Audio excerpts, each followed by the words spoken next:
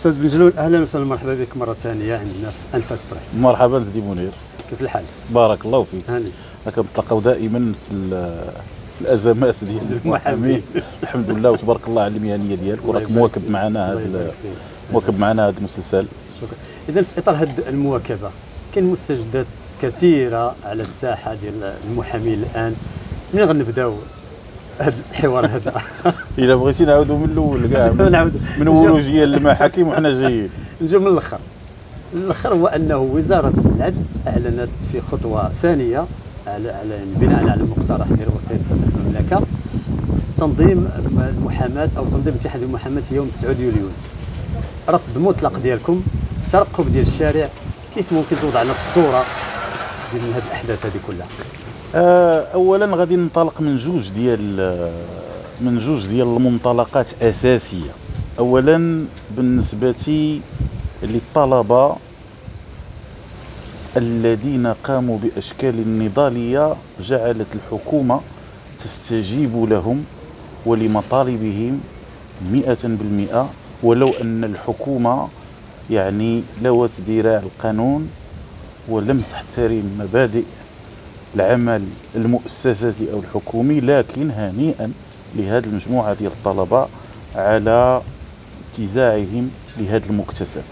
وحبذا لو كانت آه انسجامية الجسم آه المهني ك 17 الهيئه و 18000 محامي و 253 أو أكثر من المسؤولين المهنيين أن أنهم ينتزعوا كذلك حقوقهم بنفس آه بنفس الوتيرة.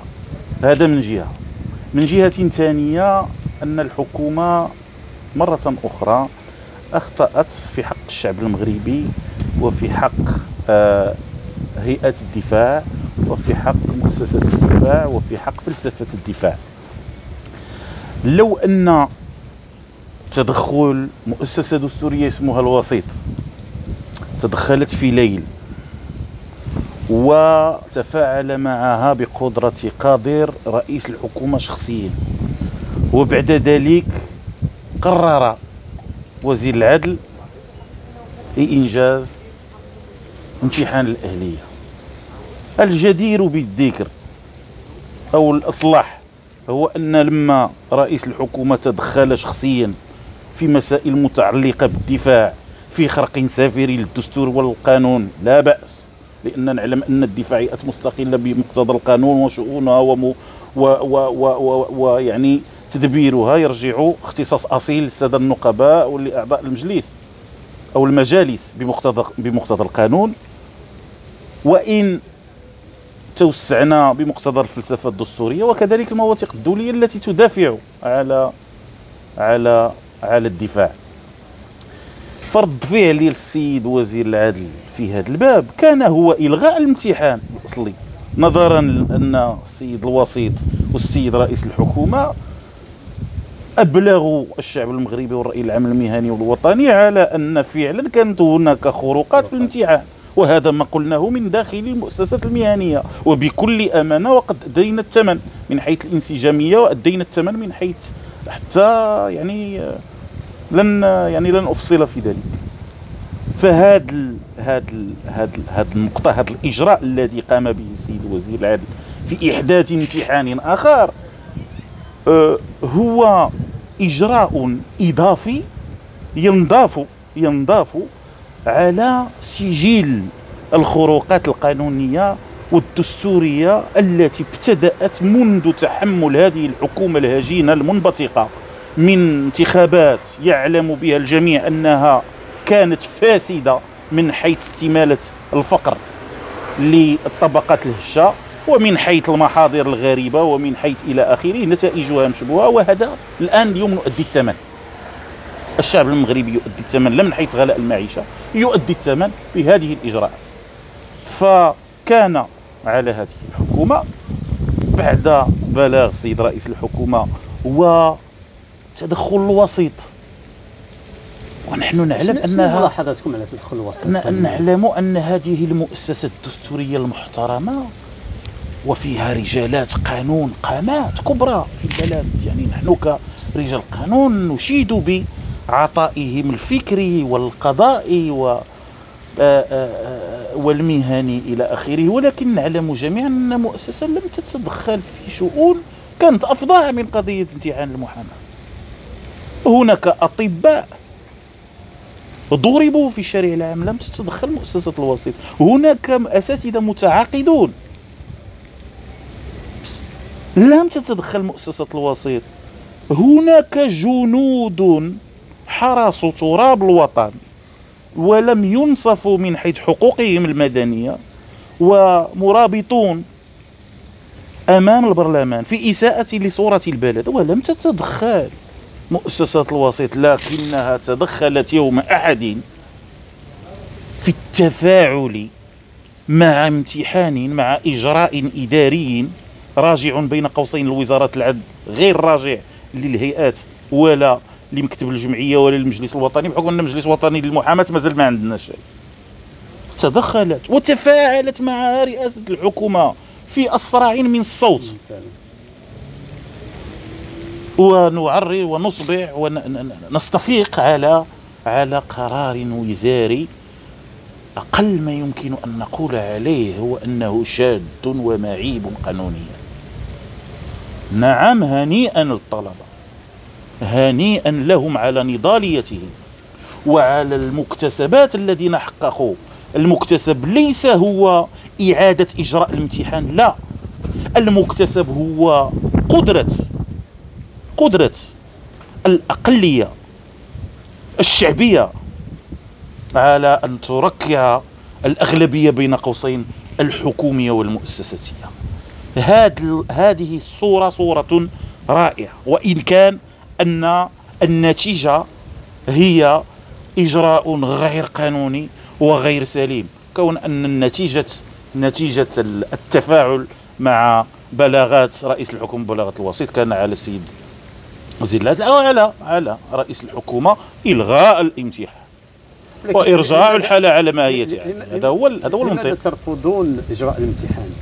شنو الملاحظات ديالكم على هذا المسألة اسدي منير ديال رفض المحامين للامتحان عطاتها الحكومة والإعلام التابع له على أن المحامين في إطار واحد الشعبوية رسمية لأن الشعبوية راه ماشي غير عند الاحزاب السياسية ولا المؤثرين ولا البرلمانيين ولا المحامين ولا الناس التي الذين لديهم الكلمة. الشعبوية كاينة الشعبوية رسميه وكنا قلنا في قضية الجباية وقد تكون في مجالات أخرى. هذه شعبوية محضة. المحامون ليسوا ضد ولوج أبناء الشعب ونحن من أبناء الشعب إلى مهنة النبلاء. ولكي نخرج من المنطق القيمي والفلسفي. للهيئة لديها مصلحة في أن يلج أبناء الشعب كون هناك أداء للانخراط. فلا نقلب الجدلية ونزيف الواقع. نحن ليس ضد ولوج أبناء الشعب. وأقول لأبناء الشعب من هذا المنبر أنهم مرحب بهم في الدفاع ومرحب بهم في حمل الرسالة الكونية ومرحب بهم في حمل الرسالة الحقوقية. ولكن واقع الحال واقع الحال. أنا أنا نقول لك شنو اللي أنا نقول لك شنو اللي كاين.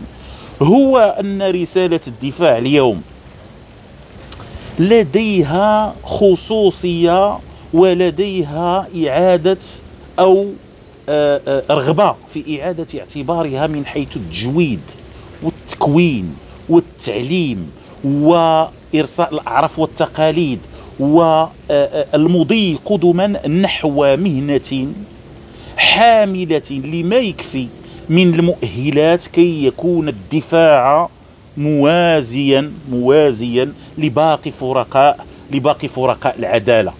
وشنو هي شنو هو المدخل؟ المدخل هو المرور من الامتحان إلى المباراة. المدخل هو إنشاء معهد عالي للمحاماة. معهد جهوية أيضا. أو المعاهد جهوية قلنا نفكروا في الصياغ كان خطأ فديح فادحا أن يكون الإعلان على الامتحان الأول قبل دخول حيث في القانون المنظم للمهنة أو تعديل بعض مقتضيات القانون القديم. وقلنا لا بأس. وتصارعنا داخل مؤسستنا وتصارعنا مع الحكومة. والنضالات المحامين كان من أهم الحراكات التي عرفها البلد من أجل التصدي إلى إلى إلى إلى إلى ما يمكننا أن نسميه الانحراف السياسي والإداري والحكومي في هذا الباب. كنا نتجنب نتجنب الصداع. كان لذلك الامتحان أن لا يكون حتى أن نرتب البيت الداخلي. وأن نرتقي بالمحاماة للدرجة العالمية وللدرجة الدولية وللدرجة المبدئية التي يتعارف عليها الجميع. طيب ألا وهي ألا وهي المعهد وألا نعم. وهي ضيعتوا الفرصة هذه في الامتحان الأول في نسخته الأولى. إحنا العشية النسخة الثانية. كيف ممكن أنتم كمحامين وكهيئات وكجمعية تعاملوا مع هذا المستجد هذا؟ واش الفرصة اللي ضيعتوها في النسخة الأولى غتضيعوها في النسخة الثانية؟ هو نفس المسلسل. بمعنى سي ان سيركل فيسيو الحلقة تذهب بالدفاع وبالعدالة وبالبلد إلى الأسوأ وإلى منطق تكريس سرطان الرداءة حتى من داخل أكبر جهاز حيوي بالنسبة للسلم المدني والاستقرار الوطني ألا وهو العدالة. الدفاع هو جناح من أجنحة العدالة وصانع للحقيقة وصانع وصانع للحق. لا يمكن أن نتعامل معه بتبخيس فالامتحان تجاوزنا منطق الامتحان نحن نمر إلى منطق المباراة.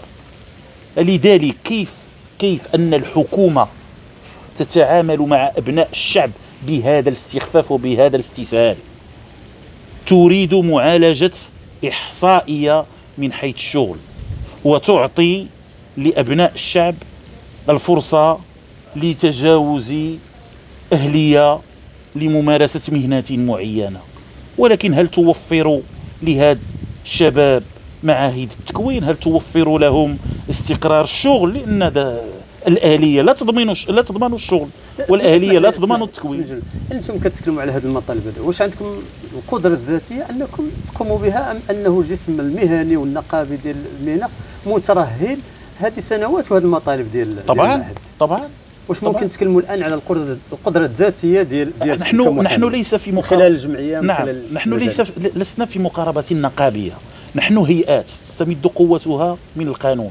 نحن مرفق عمومي يعني قررت الدولة في إطار ملائمتها مع المعاهدة الدولية مع تصور معين للعدالة. أن تمنح للهيئات الاستقلال المالي والذاتي والتأديبي وأحيانا القضائي في بعض الأشياء. أو في بعض الملفات من أجل تدبير مرفق معين ألا وهو مرفق الدفاع. فلذلك آآ آآ آآ لما لما تنفرد بإجراء امتحان الولوج فهي يبقى لها الصلاحية والحق في التحكم في العدد والتحكم في الولوجيه والآن هي يعني تتطرق أو أو تذهب إلى مقاربة ما يسمى بإغراق مهنة الدفاع لأن مهنة الدفاع تمثل سلطة مضادة وسلطة تأثيرية منافسة للسلطة الائتمارية، السلطة الائتمارية كما نعلم هي السلطه التنفيذية والقضائية والتشريعية، فالدفاع هو اولا سلطة مضادة وثانيا سلطة تأثيرية حامل لرسالة حقوقية. والمنحى التحكمي العالمي والنيوليبرالي العالمي ذاهبون إلى هذا هذا الطرح ديال إضعاف الدفاع من حيث الإمكانيات الاقتصادية من حيث المنافسة الغير المشروعة من حيث الإغراق. نحن لا لا نقول على أن أبناء الشعب آه، آه، غير أكفاء بالعكس قوتنا من المشروعية الشعبية.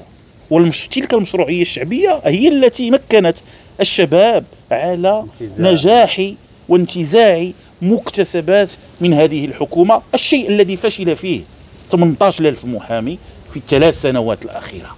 نعم أثبتنا دوتنا في الساحة وعلم علم علمت الحكومة على أن لحمنا مر وسرعة العولمة في اختزالنا في حرفة معينة أو مهنة صغيرة ونسف المحتوى الحقوقي والسياسي لهذه المهنة هذا لن نقبل به. وفعلا النسف الحقوقي والسياسي لهذه المهنة الذي تريده الحكومات المتعاقبة تلقى صدى وحلفاء. من داخل الجسم المهني الذين يكرسون الوعي المزيف في الفصل مثلا على سبيل المثال في الفصل ما بين السياسي والمهني. الذي تلقى حلفاء في إطار تمرير بعض ال بعض ال الإجراءات الحكومية المضرة بمهنة الدفاع. ومن بين الإجراءات الحكومية هي الامتحانات الأخيرة. الامتحانات الأخيرة كان الامتحان الأخير أيام آه وزير آه، الحزب الحاكم اليوم وننسى ان الحزب الحاكم اليوم هو مكون لجميع الحكومات المتعاقبة الذي أدخل ثلث النسمة. تقصد اجار كنا 12000 ولينا 17000 في ظرف سنه بجرة قلم. بجرة قلم. ما دا دا دا, دا عار. اليوم يمر الامتحان في ظرف يناقش فيه المحامين. إعادة النظر في قانون المهنة إعادة النظر في الدبلومات إعادة النظر في الولوجية إعادة النظر في الامتحان للمرور المباراة إعادة النظر في المعهد وفي خضم وفي من خ... ويعني فترة هذا النقاش نجيو نديرو امتحان. علاش يعني؟ إذا الغرض هو الإغراق. ما كاينش شي غرض آخر. كاين بعض الأغراض شخصية لبعض المسؤولين كذا داكشي أنا ما كان ما كنتجنبو كنتحاشى وما كنبغيش ندخل فيه. أنا اللي تيهمني هو ما تصور الحكم بالنسبة لهيئة الدفاع. إذا كان نموذج صهيو خليجي لإعدام مهنة الدفاع. لأن كنعرفوا ان دول الخليج ما فيها شيء ما فيها شيء كذا أو الكيان الصهيوني اللي الآن ولا دابا هو المعاور الأول عاد استقبلوا رئيس البرلمان الوهمي. هيئة الدفاع هيئة الدفاع تنتمي إلى كيان مستعمر فأي رسالة حقوقيه هذه اذا كان هذا هو النموذج فلتكن للحكومة وللحكم الشجاعة الكافية لإلغاء مهنة المحاماة وكفى المؤمنين شر القتال. أما نوليو بحال شي دجاجة كيريشوا فينا غير بشوية غير بشوية والمظاهرات وحنا غاديين والإغراق والإفساد وكذا وإلى آخره هذا غير مقبول. هذا غير مقبول. هناك شجاعة سياسية من طرف الجميع. كان للطلبه شجاعة سياسية انتزعوا مكتسب لديكم النية في إعدام هذه المحاماة أو اختزالها في حرفة المرجو إلغائها بمقتضى القانون. وبلورة حرفة جديدة. مهنة المحاماة هي في جيناتها تحمل السياسة. كما أقول للزملاء المتمرنين. في جيناتها السياسة لما ترافع عن عن نزاع شغل راك ترافع على الجدلية ما بين العمل ورأس المال. لما ترافع على مستحقات واحد المرأة مطلقة ترافع على واحد المنظور من الأسرة. لديك رأي لديك خلفية إيديولوجية. فبذلك هاد هاد هاد الناس هادو آآ آآ يعني شوية يرخفوا على هاد يرخفوا على هاد المهنة لاننا نلمسها في الحياة اليومية بالتعامل التعامل مع المحامين في الجلسات التعامل مع المحامين في الإدارات التعامل مع المحامين في في كل المرافق ولكن تظل المحاماة يعني نعم. هي المحاماة وحاملة لرسالة الدفاع. فهذا كان إجراء شاذ وحق أريد به باطل من طرف الحكومة. كان على الحكومة أن تلغي الامتحان. توصيات السيد الوسيط. أو تفاعل رئيس الحكومة. أعلنت على خروقات في ذلك الامتحان. كانت أن تكون لها قبل الشجاعة التي تكلمت عنها لإلغاء مهنة المعامله على الأقل الشجاعة تلغي ذاك الامتحان. غير تلغي ذاك الامتحان. أستاذ بن شكرا جزيلا لك. مرحبا. كنت معنا. بارك الله مرحبا. هذا الوضوح. مرحبا. مرحبا, مرحبا. شكرا جزيلا لك. مرحبا.